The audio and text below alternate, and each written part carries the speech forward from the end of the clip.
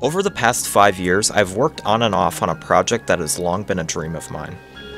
A sandbox game where you can make your own platforming levels, just like Super Mario Maker, but with Kirby instead.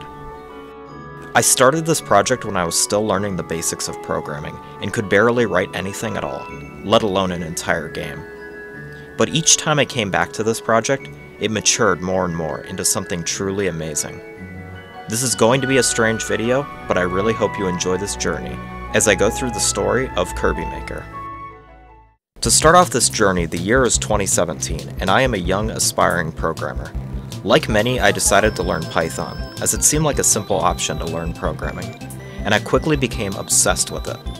It wasn't long before my aspirations began to grow, and I started to think about big programs that I wanted to make, without even understanding most of the basics of programming, or Python itself.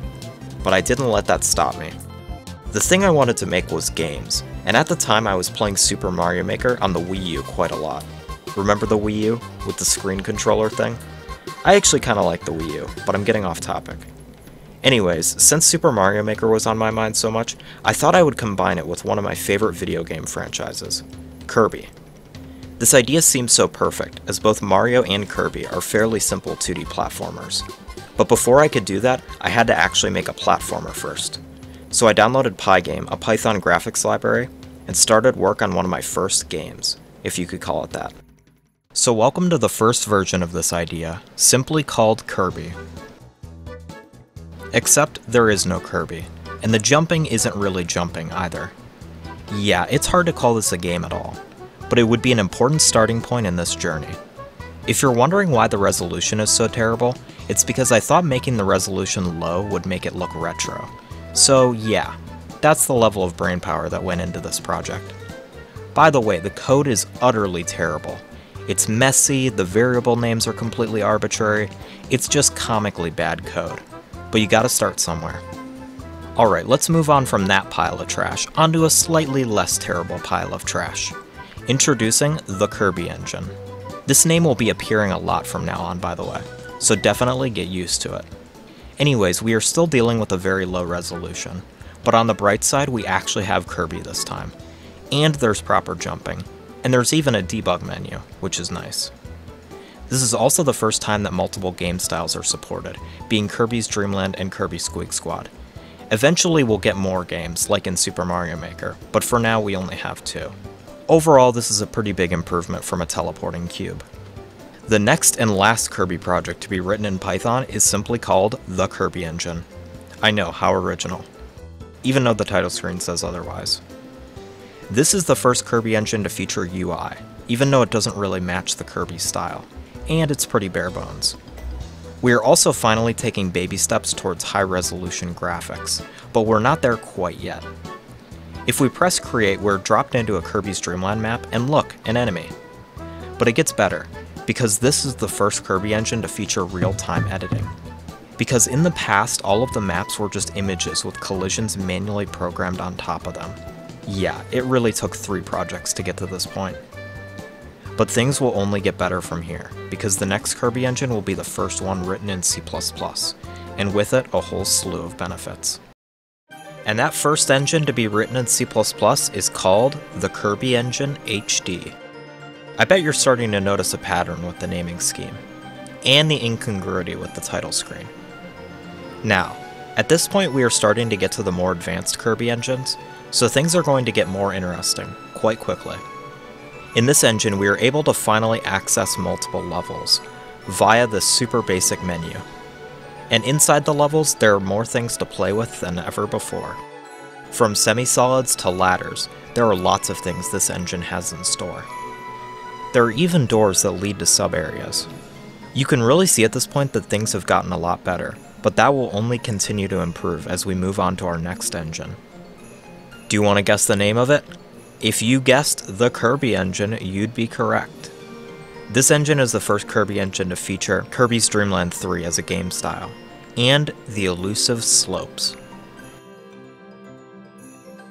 This engine does have a bunch of weird graphical glitches though, for whatever reason, so the sprites have black lines that clip in and out of existence, which is kind of annoying, but whatever. Now, the next Kirby engine is actually the first one not to be called the Kirby engine since the beginning. Instead, with a much more consistent name, this is Kirby's Dream Maker. Yeah, I know that it's a pretty terrible looking logo, but if you look past that, this project has quite a bit in store for us. If we press play, we are greeted to a very fancy looking level, with enemies, slopes, and animated tiles. But what makes this project so important from the other five before this is that it features the first proper editor. This editor allows you to toggle between adding blocks and enemies, and it has a bunch of other little features that make the process of designing and testing levels so much quicker and more enjoyable than ever before. But this isn't the end yet, because the next project I'm going to show you is the latest Kirby engine. And to say that it's a major improvement over everything you've seen thus far would be a major understatement. With the exact same name, this is Kirby's Dream Maker.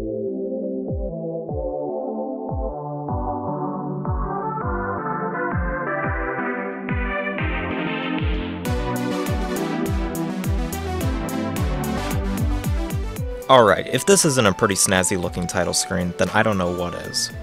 What's cool is that every time you restart this game, the title screen starts on one of four different supported game styles. Kirby's Dream Land, Kirby's Adventure, Kirby's Dream Land 3, and Kirby Squeak Squad.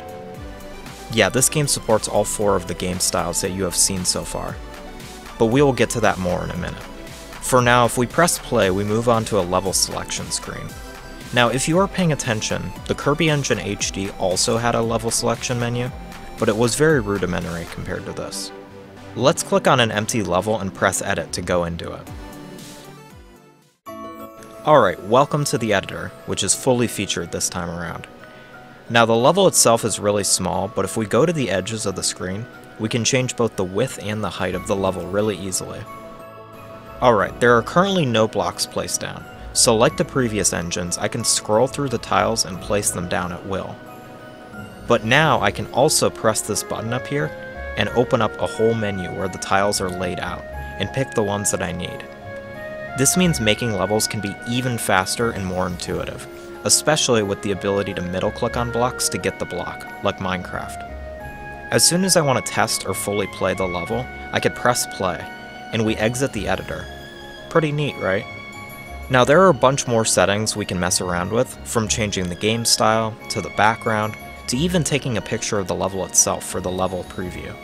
But even with all of these new things, somehow it feels as if something is still missing.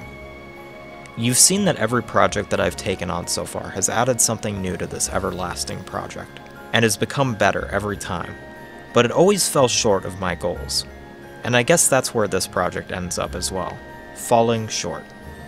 Perhaps every project we take on ends up falling short of our dreams.